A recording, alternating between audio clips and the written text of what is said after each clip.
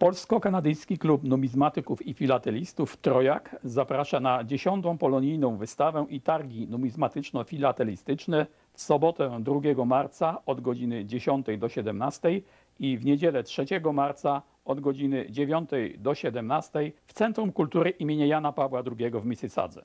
Na wystawie będzie można obejrzeć zbiory polskich monet, banknotów i znaczków, a także ekspozycję Jan Paweł II na znaczkach świata 1988-1990 oraz koperty i unikalną kolekcję znaczków i banknotów z Górnego Śląska.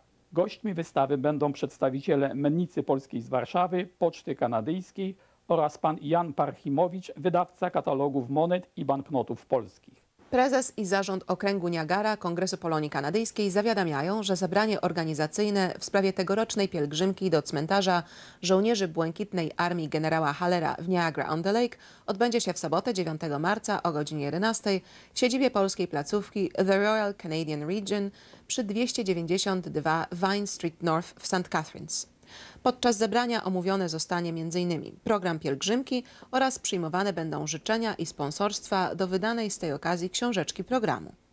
W cenie 20 dolarów będzie do nabycia poranny poczęstunek, a po zakończeniu zebrania pełny obiad. Fundusz Dziedzictwa Polek w Kanadzie zaprasza na jubileuszowy 10. koncert z okazji Dnia Kobiet w niedzielę 10 marca o godzinie 15 w Centrum Kultury imienia Jana Pawła II w Mysysadze.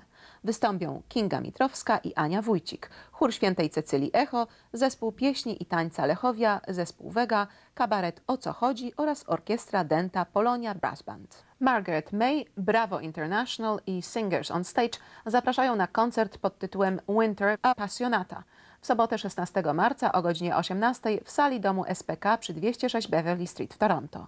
Wieczór, w którym wystąpią młodzi oraz doświadczeni śpiewacy i muzycy, wypełniony będzie niezwykłego temperamentu muzyką, klasycznymi hitami, ariami operowymi, operetkowymi i muzykalowymi, a także porywającym tangiem. Dochód z loterii i cichej aukcji przeznaczony zostanie na rzecz Epilepsy Cure Initiative. W cenie biletu poczęstunek, przekąski, ciasto, kawa i herbata. Działające przy Stowarzyszeniu Polskich Kombatantów w Toronto koło Pań Nadzieja zaprasza na bankiet charytatywny Dotyk Ciepłych Dłoni w niedzielę 17 marca o godzinie 14 w sali bankietowej Domu Kombatanta przy 206 Beverly Street. Obiad z winem i deserem oraz program artystyczny. Całkowity dochód z bankietu przeznaczony zostanie na instalację ogrzewania i klimatyzacji w Domu Kombatanta. Kuratorzy Fundacji imienia Władysława Rejmonta zawiadamiają, że 43. konkurs recytatorski imienia Marii Czesława Sadowskich oraz koncert laureatów odbędą się w niedzielę 26 maja w Hamilton. Termin nadsyłania zgłoszeń upływa z dniem 2 kwietnia. Główną nagrodą konkursu będzie wyjazd dwóch laureatów do Polski na ogólnopolski konkurs recytatorski pod tytułem Mówimy Rejmontem. Zachęcamy rodziców i nauczycieli do zapoznania się z regulaminem konkursu i rozpoczęcia przygotowań dzieci i młodzieży polonijnej do udziału w konkursie. Parafia świętego Maksymiana Kolbe w roku wiary zaprasza na dodatkową projekcję filmu fabularnego o życiu świętego Augustyna Restless Heart w czwartek 4 kwietnia o godzinie 7 wieczorem w Empire Theatre na Square One przy 100 City Center Drive w Mississadze.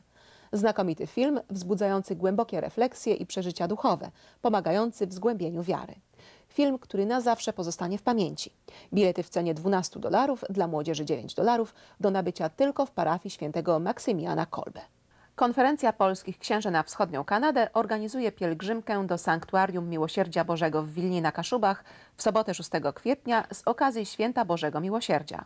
Uroczystej mszy świętej przewodniczył będzie oraz Słowo Boże wygłosi ksiądz biskup Wiesław Lechowicz, delegat Episkopatu Polski do spraw duszpasterstwa emigracyjnego. Autobusy odjadą z polonijnych parafii. Będzie można skorzystać z gorącego posiłku.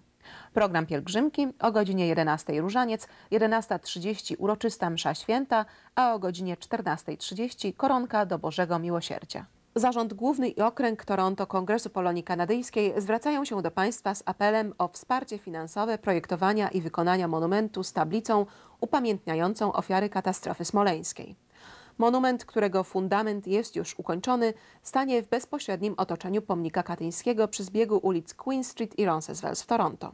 Orientacyjny koszt budowy wyniesie około 10 tysięcy dolarów. Wpłaty prosimy przekazywać na podane na ekranie konto w naszej Credit Union lub przesyłać wystawione na Kongres Polonii Kanadyjskiej Toronto czeki z dopiskiem Fundusz Smoleński na podany na ekranie adres. I to już wszystko, co przygotowaliśmy w dzisiejszym wydaniu Polskiego Studia. Żegnając się z Państwem życzę udanego i słonecznego weekendu. Do zobaczenia.